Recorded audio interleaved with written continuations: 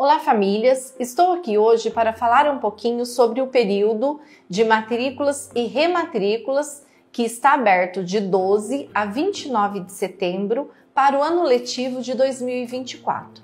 Esse ano nós temos algumas alterações. A rematrícula, ela deverá ser de forma online por meio do formulário que vocês já receberam no grupo de WhatsApp do filho de vocês. Então é só entrar no link, fazer toda a inscrição, anexar os documentos e finalizar. Se você tiver alguma dúvida, alguma dificuldade, a central de matrículas que fica no Ganha Tempo poderá auxiliar nesse processo.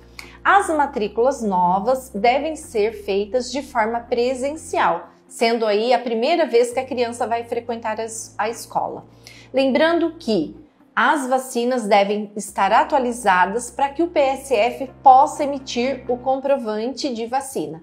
Então, você que ainda tem uma vacina desatualizada, procurar rapidamente o PSF para obter esse documento. A troca de período ou escola só será aberta em dezembro. Então, você que deseja mudar seu filho de unidade, procurar o Ganha Tempo, a nossa central de matrículas, no mês de dezembro. E as crianças que vão para o sexto ano da rede estadual, ainda será aberto o período de matrículas, não é nesse momento. Então pedimos que as famílias se atentem ao período de 12 a 29 e realizem a matrícula ou a rematrícula do seu filho para o ano de 2024.